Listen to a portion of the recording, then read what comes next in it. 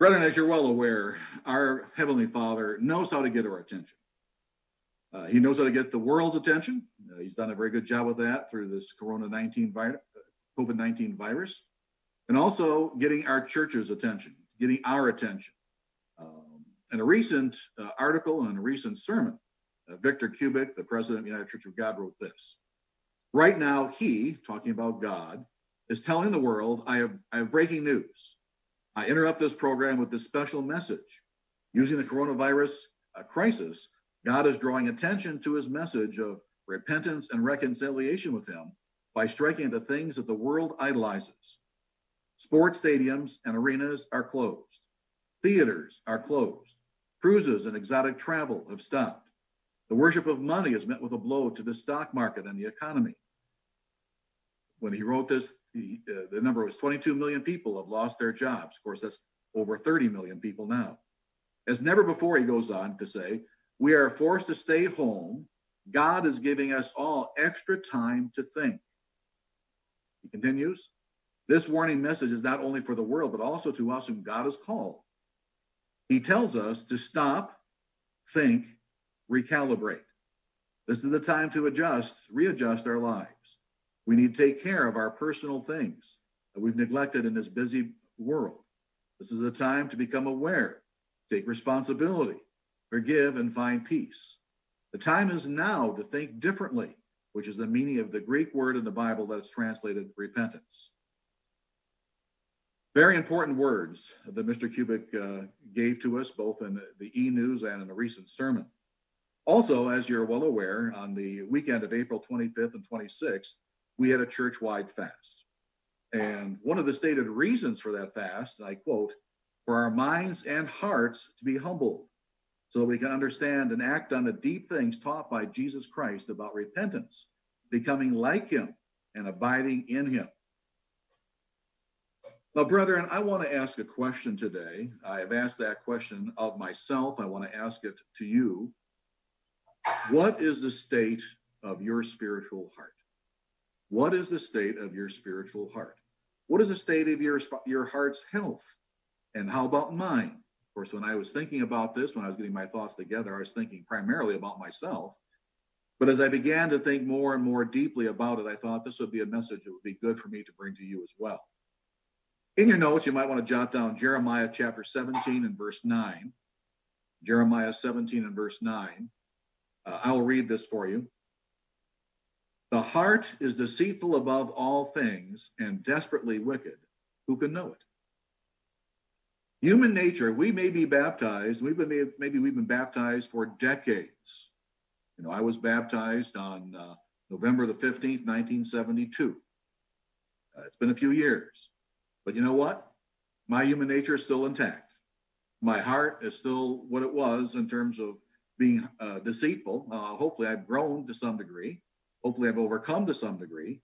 But uh, I still have human nature. I still have things that I've got to work on. Uh, in that regard, I've got a heart situation.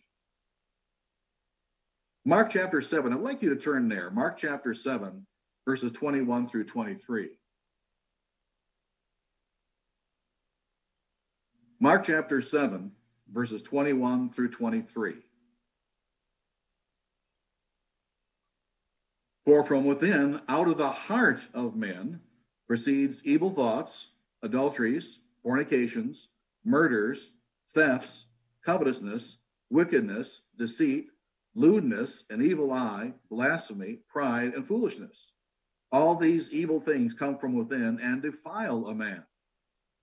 So again, we may have been converted for decades, but that doesn't mean that we are uh, having an easy go of life. Uh, I'm not going to turn there, but you know what Paul said in Romans chapter 7. The things he didn't want to do, those are the things he did, the things he, you know, and vice versa. Uh, he was so, uh, he had been, ba- a bad, been a baptized member for what, about 20 years at that point, uh, something like about 20 years. So, same thing is true for us today. Now, from a physical point of view, according to the World Heart Federation, uh, the coronavirus poses a particular risk to people over the age of 60 and those who have underlying medical conditions, including cardiovascular disease and hypertension. So this obviously gets my attention, you know, from a physical point of view. Uh, you know, I've got issues with my heart. Uh, I've been taking blood pressure medication since I was 28 years old. Uh, I've had open heart surgery, quadruple bypass. So obviously, with, with addition to my uh, my age, the fact that I tend to have uh, issues with my respiratory system and with my blood situ- uh, blood pressure and heart disease, um, I'm a target for the coronavirus, and I've got to be very careful. So even from a physical point of view, what's happening on the world scene is affecting a great many people in terms of their thinking about their heart. So, brethren, we know from a spiritual perspective, our hearts are in need of healing. We know that uh, physically, our hearts, many of us have need of healing. Uh, and I found myself asking the question as I was thinking about those things what is God's prescription for a heart that's drifting? Do you have a drifting heart? Do I have a drifting heart? Uh, you know, the challenge that a drifting heart presents to all of us is we can be drifting and not really know it. Uh, we can be heading someplace downstream, downriver that is harmful. We can be heading to the various things in a, in a, in a body of water that can be harmful to us as we're drifting. So we've got to take careful thought about where we are. And I think God has especially, brethren, given us an opportunity and I'll talk later on in the sermon about this and probably next week as well. But I don't think this is a coincidence as to why God is engulfing the whole world with basically a stay at home order. God is getting the world's attention. I think there's a reason behind that. And I also think there's a reason behind us being separated physically from one another. Obviously, we we want to be together, but God is doing something here, I believe, to get our attention, to make us stop and think and recalibrate and ask ourselves, where are we spiritually? Where is our heart? Now, so far as this sermon is concerned, I'm asking the question what is God's prescription for a drifting heart? Point number one we must acknowledge our deep need we must acknowledge our deep need. And in that acknowledgement, we've got to acknowledge our heart's chief enemy, Satan the devil. I'm not going to have you turn there, but in your notes, you might want to jot down Luke chapter 22 and verse 31. Luke chapter 22 and verse 31. And the Lord said, Simon, Simon, indeed Satan has asked for you that he may sift you as wheat that he may sift you as wheat. Brethren, Satan wants to take full advantage of our situation. He wants to take full advantage, as we heard in the sermonette, alluded to in the sermonette um, by Mr. Willis, that we're by ourselves. We don't have the opportunity to strengthen one another and encourage one another like we normally do. Now, yes, we've got email and yes, we've got a telephone and we've got all sorts of other things that we can do and we have been doing. We've been doing actually doing a good job with that, but it's just not the same. We need to be physically with one another to really make all of it, all of that come together and work properly. So maybe Satan wants to take advantage of this situation. If you or I are in a process of drifting to some degree, maybe he's he's nudging us along a little bit towards the danger, towards the rocks, toward the waterfall, so to speak. Maybe he wants us to, to nudge us toward the brink of our destruction. So we've got to be careful about that and understand where he's coming from. I would like you to turn to Genesis chapter 6. Genesis chapter 6. We're going to take a look at verses 5 through 7. Genesis chapter 6, verses 5 through 7. And let's take a look at how the God of this world, the God of this age, has affected mankind's heart. Genesis chapter 6, verses 5 through 7. Verse 5. Then the Lord saw that the wickedness of man was great in the earth, and that every intent of the thought of his heart was only evil continually. And the Lord was sorry that he had made man on the earth, and he was grieved in his heart. So the Lord said, I will destroy man whom I have created from the face of the earth, both man and beast, creeping things, birds of the air. For I am sorry that I have made them. Boy, those are powerful words. It shows the power that Satan has on mankind's heart. And again, even though we are converted people, God, the God of this age, is still broadcasting very loudly 24 7 to each and every one of us. And if we are in a state of spiritual drift, we've got to wake out of that. We've got to come out of that. So, God, I, I'm, I'm feeling personally that God is taking this world and hitting the reset button in a number of ways, especially for those of us in the church, for those of us to take the time that we have to take a look. You know, we have a Passover self examination and re examination, but we should be doing this all the time, not just at Passover time, all the time. And ask ourselves, as we have the time, where are we in our relationship with God? And you know, brethren, I don't care how many years you've been in the church. You know, uh, we we were talking, I think, either before the Bible study or during the Bible study about how many generations we have now in, in the faith. And um, you know, I'm first gen. I don't go back too far. You know, I, I started listening to the broadcast in 1967. Uh, but you know, and I, I think I was uh, the uh, Durants had made mention that the, their kids are fifth generation. So we've got you know from from me at first gen to a fifth generation here in our uh, in our midst. But think about the Bible greats in their heart. Abraham, father of the faithful, was willing to give his wife away twice, and he had a good wife. He had a good wife, but he was willing to give her away to Pharaoh and to Abimelech. It says something about his heart, at least a portion of his heart. Sarah encouraged her husband to go with Hagar. Moses, due to his sin, striking the rock, was not allowed to enter the Holy Land, the Promised Land. David, because of his situation with Uriah and Bathsheba, tremendous amount of sin. He had some heart issues. Peter, a leading leading uh, member of God of Christ's uh, entourage there, the disciples. Peter was guilty of hypocrisy. We see that in Galatians chapter two. Respect of persons. Paul said he had to withstand Peter face to face. A heart issue. So, brethren, let's acknowledge the fact that you and I, all of us, have the potential to have a heart that drifts, and we don't want to be there. Want to have you take a look at the book of Hebrews for a minute. I'm going to be here just for a couple of minutes, perhaps. Background to the Hebrews, uh, since it doesn't talk about the destruction in 70 AD, uh, most scholars would place the back of the dating of the writing of that, writing of that book probably to the late 60s AD uh, written to first and, second, first and second generation Jewish Christians, talking about generations. The people that uh, we believe Paul, most scholars would think Paul wrote the book. There is some debate about that, but the author of the book was was working with the people he was writing to in the book of Hebrews that they stay in the faith.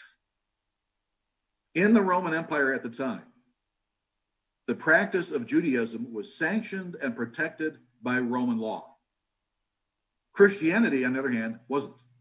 It wasn't sanctioned, it wasn't protected. There was persecution was setting in, and some of the Jewish Christians faced a dilemma whether they should keep on being a professing Christian or just return to their, their roots, many generations of roots in Judaism.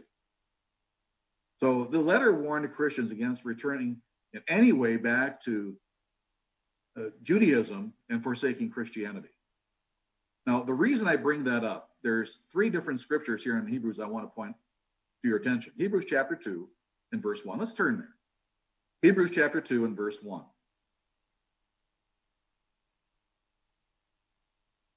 Therefore, we must give the more earnest uh, heed to the things which we have heard, lest we drift away lest we drift away.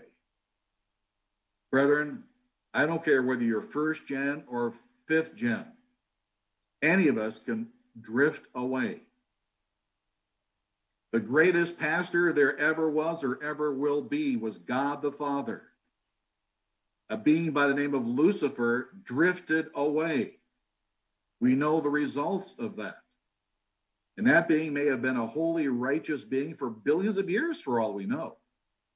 But he drifted away, and then, then you know, sin became a part of the story, and you know the rest. Let's turn to Hebrews chapter 6. So Paul is writing to these people to beware lest they drift, lest their heart drift. Now let's turn to Hebrews chapter 6, verses 4 through 6. Hebrews chapter 6, verses 4 through 6. For it is impossible for those who are once enlightened, those who God had called, and have tasted the heavenly gift, have tasted God's Holy Spirit, and have become partakers of the Holy Spirit, and have tasted of the good word of God, that milk that we heard of, and the meat that was alluded to in the sermonette today, have tasted the good word of God and the powers of the age to come if they fall away, to renew them again to repentance, since they crucify again for themselves the Son of God and put him to an open shame. So here Paul is writing to them, or the author of Hebrews is writing to them saying, Watch yourselves lest you drift away.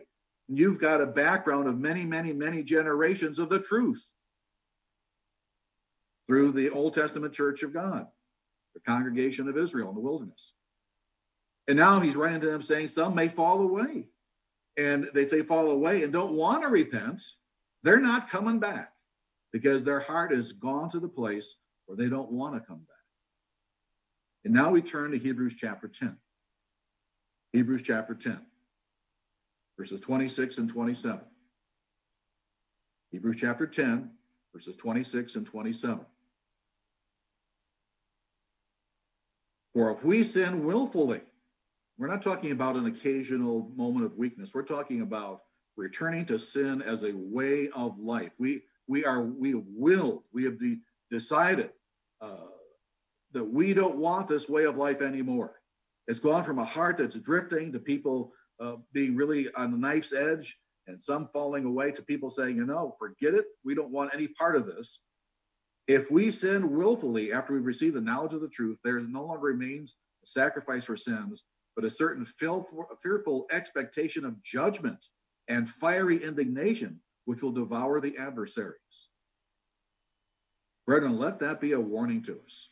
We don't want to be in a situation where, where we find that we are drifting because Satan will take that and work with that. He does want to sift us as wheat.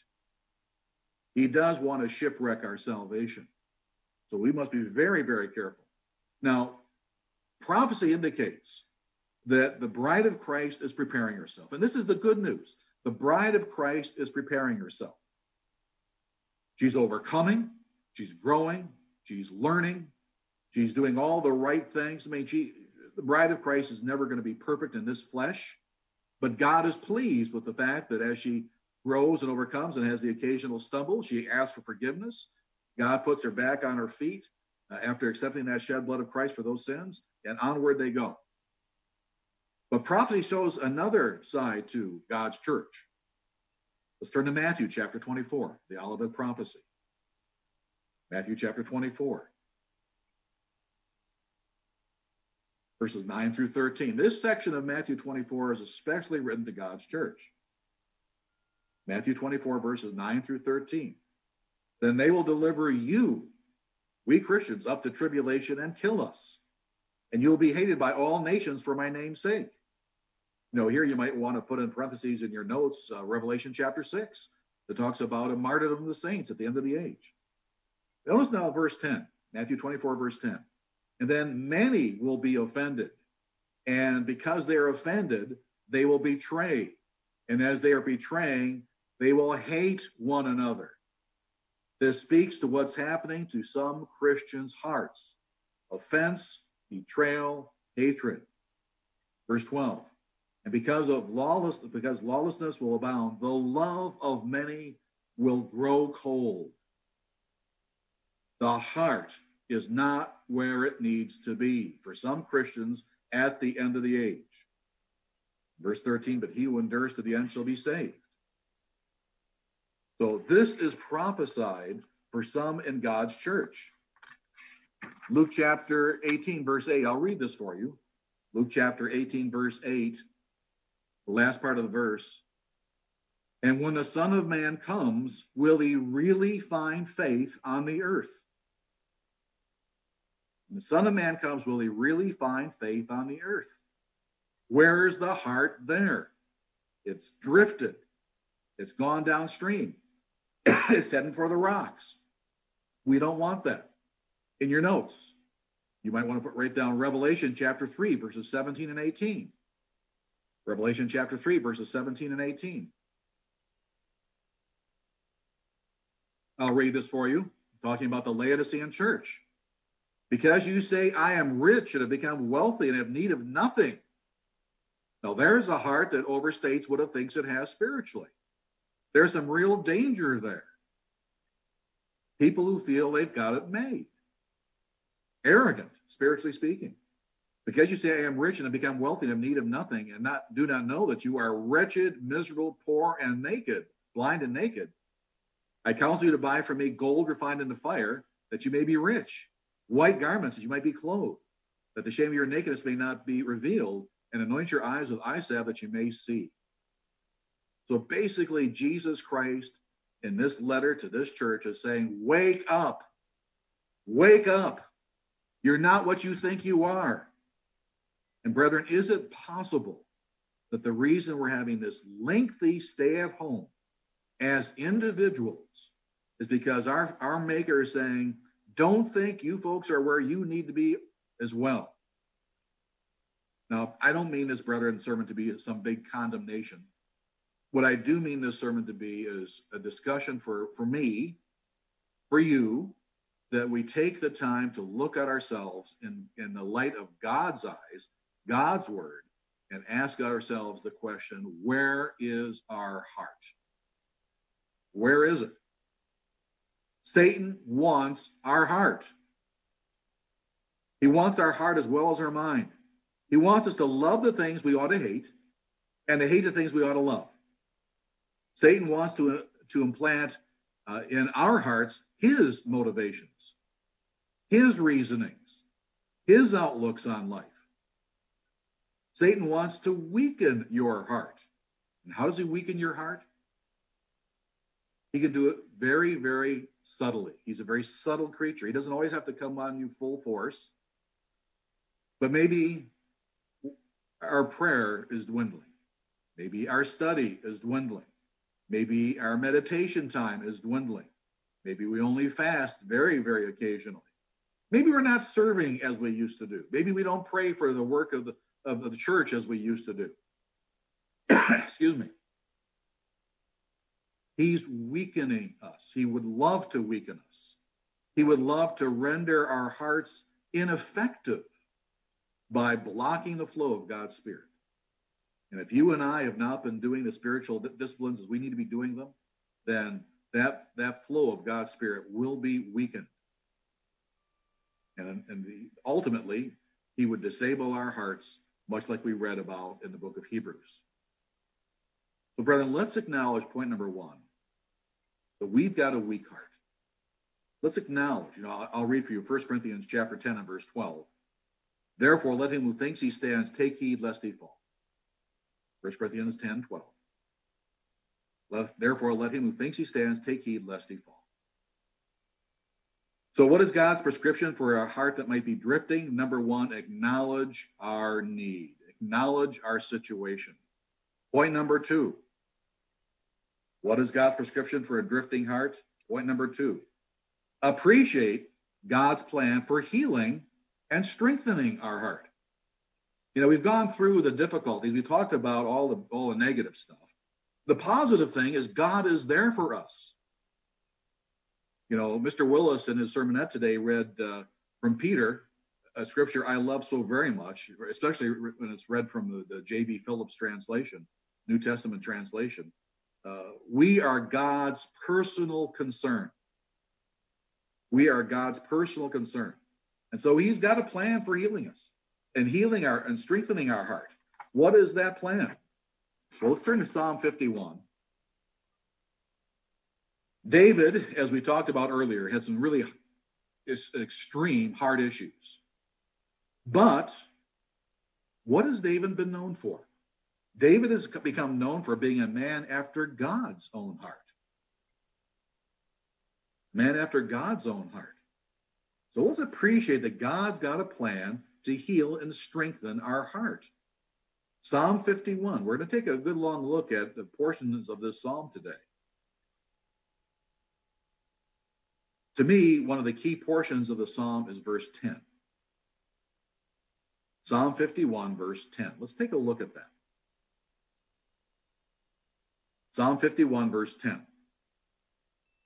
Create in me a clean heart, O God, and renew a steadfast spirit within me. Create in me a clean heart. Two ideas there create and a clean heart. Two ideas I want to zero in on. And I want to read you a fairly lengthy section. It's about a, a good sized paragraph from Barnes' notes, because I think Barnes really hits it on the, on the head here. And I quote The word rendered create is a word which is properly employed to denote an act of creation, that is, of causing something to exist where there was nothing before. It is a word which is used in Genesis 1 1. In the beginning, God created the heaven and the earth, which is commonly used to express the act of creation. It is used here clearly uh, as a recognition of the divine power to create something that did not exist before, or a feeling on the part of David that this could be done by God alone. Only God alone can affect the change uh, that can be that is needed here. But is God going to do that by Himself? Well, we'll stay tuned for the rest of the sermon. We'll talk about that. Going back to Barnes, the idea, however, is not that a new substance might be brought into being to which the name uh, clean heart is, but that he might uh, have a clean heart that is a heart made pure, that his affections and feelings might be made right, that he might have what, what he considered, uh, what was conscious that he did not now have a clean or a pure heart. This he felt could be produced only by the power of God. So the idea that God here needs to create something that wasn't there before a purity of heart because of David's sins, and that that heart was going to be cleansed by the power of God. We don't have the power to, to wash away our sins. We Christ, through his sacrifice, we have uh, his sacrifice that washes away our sins, but we can't do that on our own. This is going to be something God himself does. So the second point was very clear appreciate God's plan for healing and strengthening our heart. There's a plan here. We, we talk about that plan every year at Passover. Point number three What is God's part in the cleansing of our hearts? What does He do? And then lastly, we're going to see what do we need to do? We, we have got a part in this program.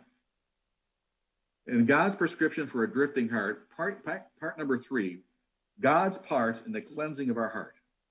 Let's go back here to Psalm 51. Go up to uh, verse 1. Psalm 51, verse 1. Notice what David says. And I want to take this apart in three sections. Have mercy upon me, O God. Have mercy upon me, O God. Notice David doesn't venture to call him my God. He's feeling pretty low here. David does not venture to call him my God but he appeals to God for who God is. Have mercy upon me, O God. He knows he is in need of tremendous mercy. And so he goes to God and asks for that mercy. And notice the next phrase loving kindness, according to the multitude of your tender mercies. Excuse me again. Why did David put it that way?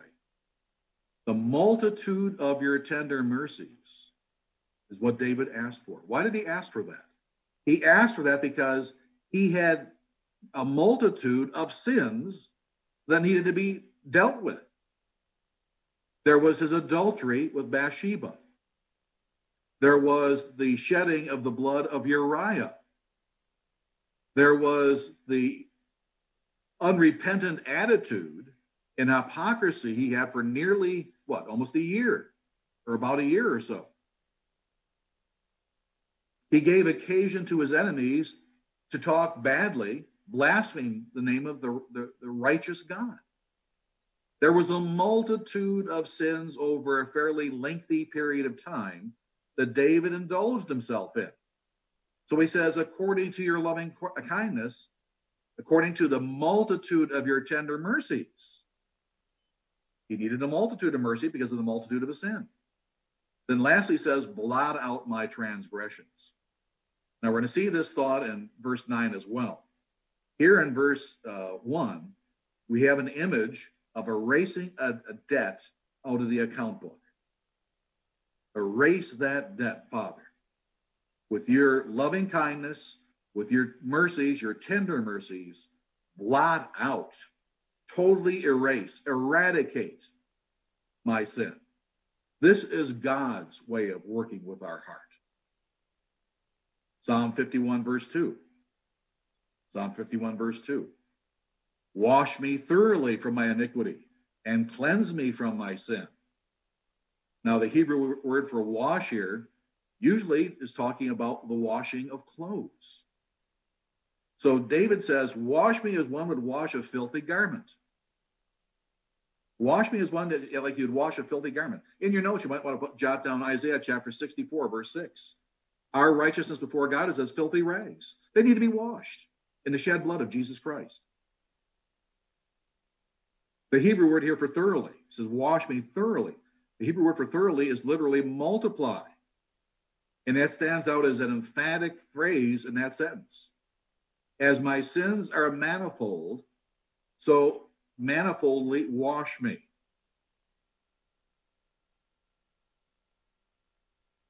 Psalm 51, verse 7. Purge me with hyssop, and I shall be clean. Wash me, and I shall be whiter than snow. Now, hyssop is associated with purification of a, of a leper.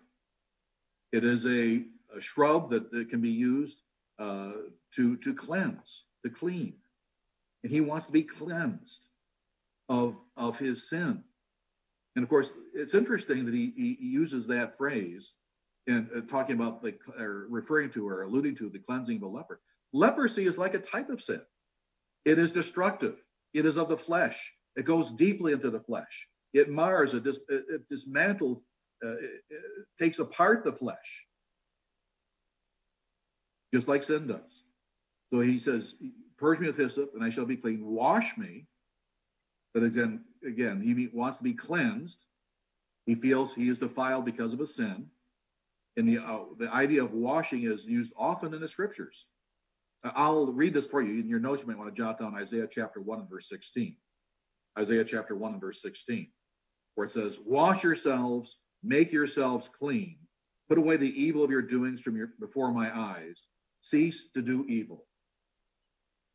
David wanted to be washed thoroughly because he had committed a thorough number of sins.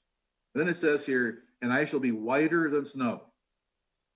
He wanted to be entirely clean. He didn't want to have any last vestige of, of the sin in him. And again, I'll read for you Isaiah chapter from Isaiah chapter 1. You don't need to turn there. Isaiah chapter 1 and verse 18.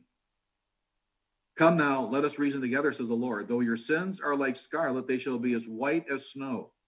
Though they are red like crimson, they shall be as wool. And then lastly, in terms of what God does, Isaiah, excuse me, Psalm 51, verse 9. Psalm 51, verse 9. Hide your face from my sins and blot out all my iniquities. Hide your face from my sins. David doesn't want God to view them, to look at them. He wants his face to be averted from them. And it brings up the thought that I've said on a number of occasions that I feel is such a interesting wordplay, Isaiah, and I'm not going to turn to this, but Isaiah chapter 38 and verse 17, where the the thought is stated, cast all my sins behind your back.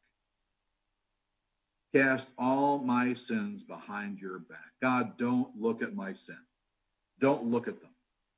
Blot them out, cleanse me, and don't look at what I've done. And again, at the end of verse uh, 9 of Psalm 51, blot out all, my, blot out all my iniquities, take them entirely away. Let the account be erased, canceled, destroyed. Blot them all out.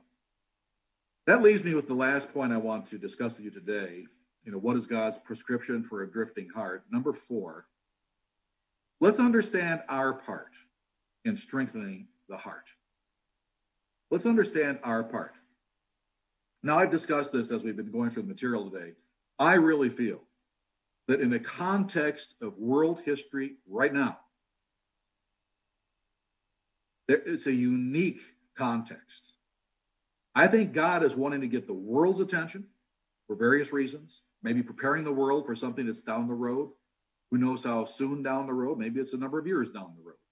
We'll talk more about that, I think, next week uh, in terms of maybe, maybe an overview of, of some prophecies. But I think we're in a very unique world history context. We're in a time of separation. We're at a time where we can be more alone with our thoughts, with God's thoughts. We can spend more time uh, thinking about God's thoughts and how they relate to our thoughts. You know, are our thoughts God's thoughts or are they far, far afield?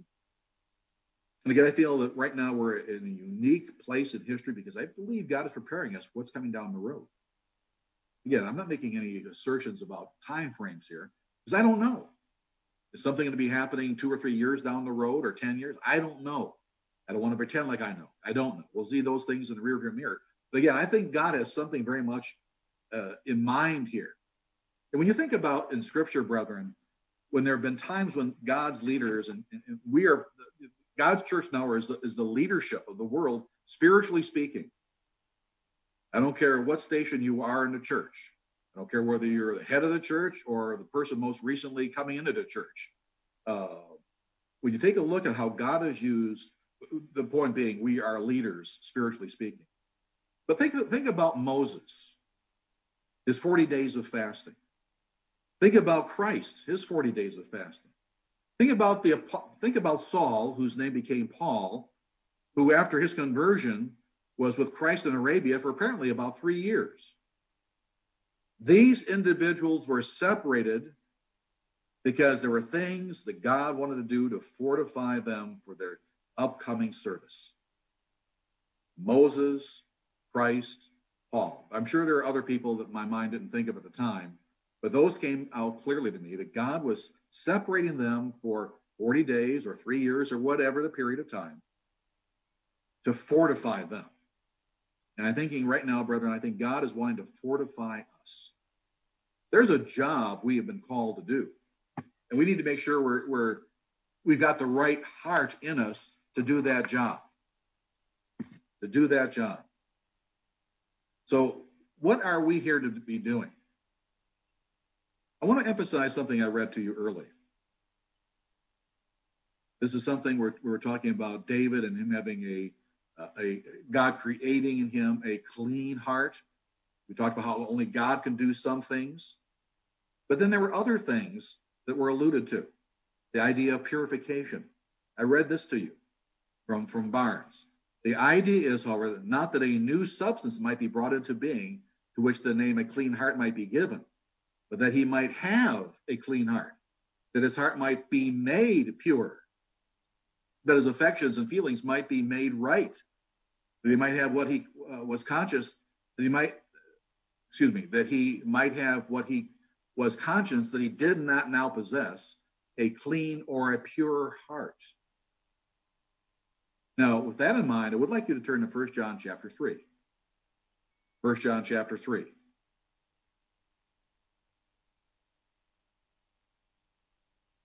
First John chapter 3, let's look at the first three verses. Behold, what manner of love the Father has bestowed upon us, that we should be called the children of God. Therefore, the world does not know us because it didn't know him. Beloved, now we are the children of God. It has not yet been revealed what we shall be, but we know that when he's revealed, in other words, at Christ's second coming, we shall be like him, for we shall see him as he is. Why? Because we are then spirit. Notice now verse 3. And everyone who has this hope, the hope of the resurrection, the hope of being in God's kingdom. Everyone who has that hope, and that's all of us today, everyone who has that hope purifies himself just as he is pure. So there is something for us as Christians to be doing about our hearts. God doesn't do it all. God does what God is supposed to do.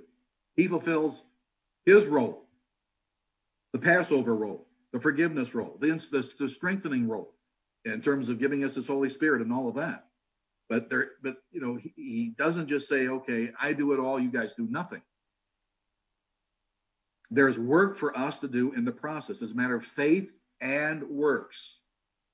If we don't have the works, we've got a dead faith. Who said that? Jesus Christ, half brother James. So, what is our work? Well, two things I just want to emphasize today. There, I'm sure there are many more things. Like, as a matter of fact, I had I think seven things down I could have talked about, but I realized I was I wouldn't have the time to do that, so I cut it down to two. Letter A. We must prepare our hearts. We must prepare our hearts. In parentheses, in my notes, I've got classwork, education. We've got classwork to do. We've got education to take care of. A favorite scripture of mine, I guess there's so many of them, but Ezra chapter 7 verse 10. Let's take a look at Ezra chapter 7 and verse 10. Again, this dovetails very nicely with the sermon that we heard earlier today by Mr. Willis. Ezra chapter 7 and verse 10. For Ezra had prepared his heart. He had prepared his heart to seek the law of the Lord and to do it and to teach statutes and ordinances in Israel. So there is class work for us to do if we want to prepare our hearts to avoid spiritual drift for our heart. He prepared his heart by seeking the law of the Lord. In other words, he prepared by studying, by going deeply into the word of God. And brethren, we have that the time. We're not spending as much time driving to and from work. We're not spending as much time on a golf course, whatever it is that you do for your, your enjoyment. Uh, we've got more time. Let's be honest about that. Not like as though we've uh, got oodles and oodles of extra time, but we've got more time. And we can take more time, our discretionary time, and do more study of the Word of God. And we study it with the intent of knowing how to actually apply it. It says there, you to seek the law of the Lord and to do it. Excuse me. How to actually apply. What did David do? A man after God's own heart. He thought deeply, he meditated deeply about the, the, the law of God, how it could be employed in his life. He thought about it on his bed, how he was going to act the next day. And it says, and it goes on, not only is he going to find out how he can actually put this into practice, but to be so well versed in the law of God, he would be able to teach it. He would be a master of the subject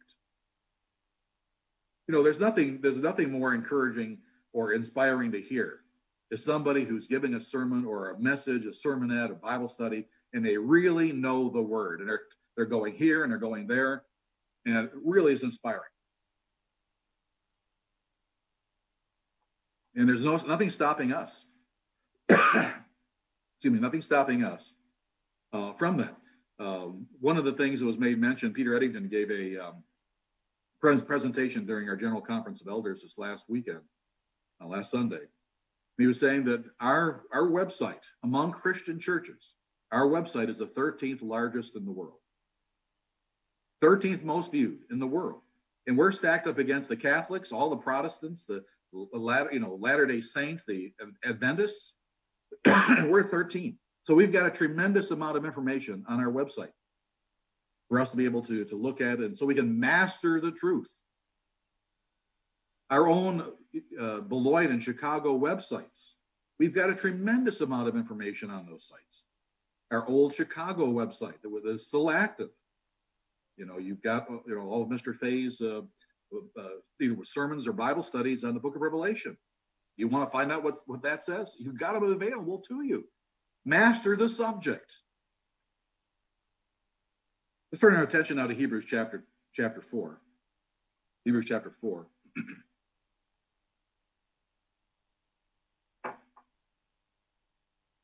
Hebrews chapter 4 and verse 12.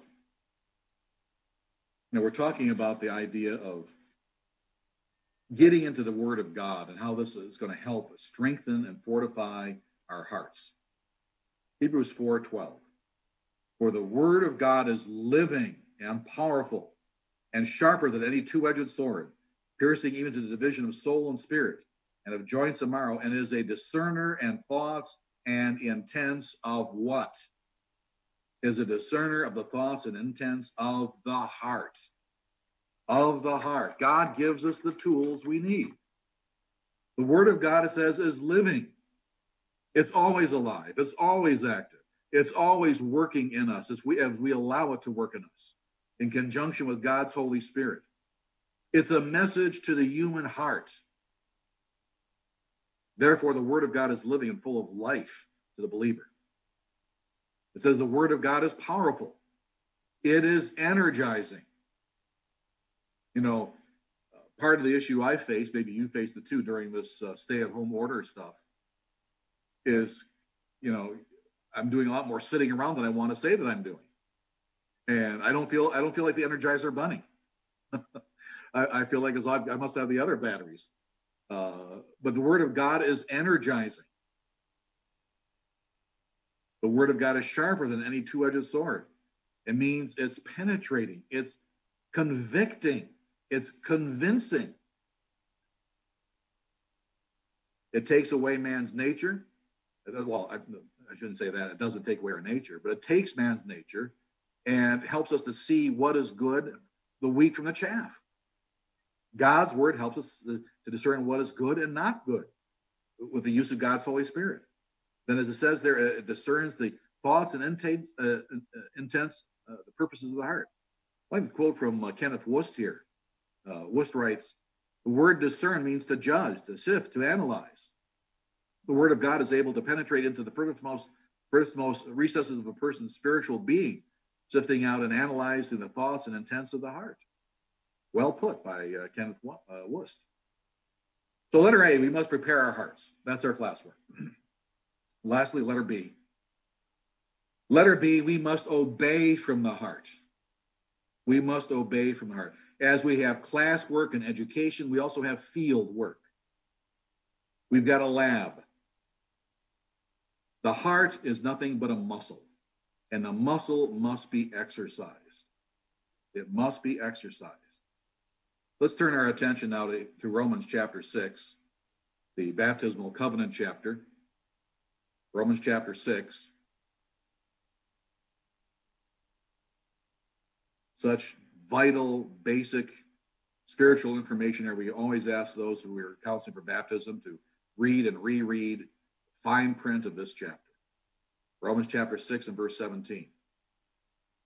But God be thanked that though you were slaves of sin, yet you obeyed from the heart that form of doctrine to which you were delivered. You obeyed from the heart. Brethren, we're not talking about outward compliance here. We're talking about inner dedication and commitment, not outer compliance. True inner dedication, true inner commitment to God and God's way of life from the heart. You've counted the cost. Parentheses, Luke chapter 14. You have counted the cost. You have accepted God's way of life. You've, you've said you don't want Satan's way of life anymore.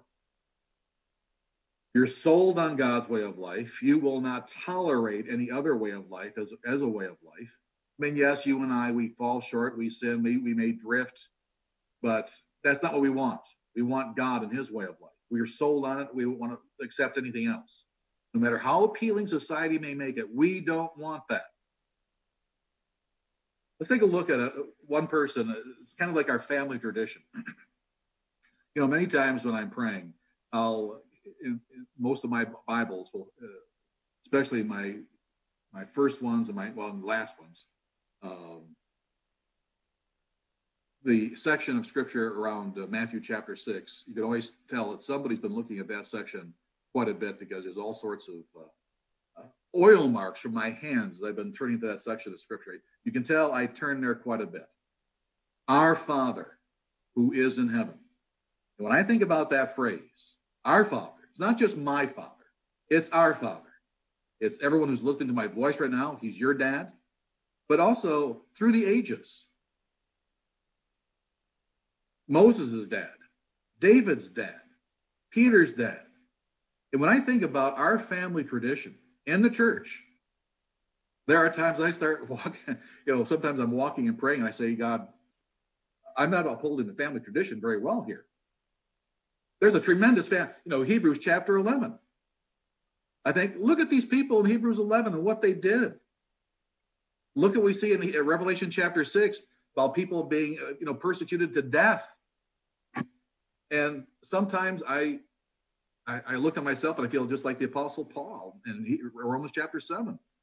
I said, no one has been threatening me with the torture or anything. And why did I fall down on my face there? Why did I not act better there? Why didn't I not think the right thing there? So we've got a tremendous, you know, our Father in heaven. We've got a family tradition to uphold. Let's take a look at a little bit of this in Hebrews chapter 11. Hebrews chapter 11, verses 24 through 27. Hebrews chapter 11, verse 24. By faith, Moses, when he became of age, refused to be called the son of Pharaoh's daughter, choosing rather to suffer affliction with the people of God than to enjoy the passing pleasures of sin.